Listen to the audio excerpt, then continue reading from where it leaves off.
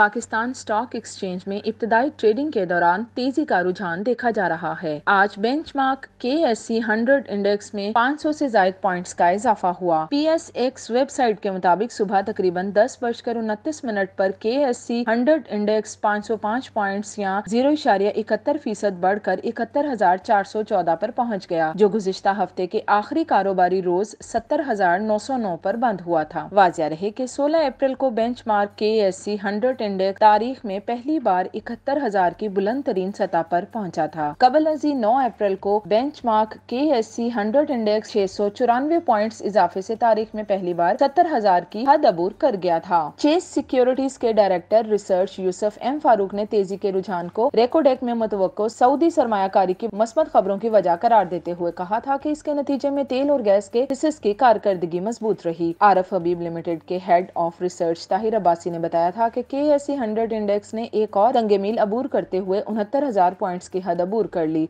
उनका कहना था कि मार्केट में तेज़ी की रुझान की वजह है कि वज़ीर अजम शबाज शरीफ के दौरा सऊदी अरब में मुमकिन तौर पर दो तरफा माहों की तो है। वाजह रहे की चार अप्रैल को benchmark K S hundred index छह सौ साठ पॉइंट के इजाफे के बाद अड़सठ हज़ार की नई बुलंद तरीन सतह पर पहुँच गया था। इससे एक रोज कबल के एस सी हंड्रेड इंडेक्स आठ सौ उनहत्तर पॉइंट बढ़कर सड़सठ हज़ार सात सौ छप्पन की तारीखी बुलंद तरीन सतह पर पहुँचा था।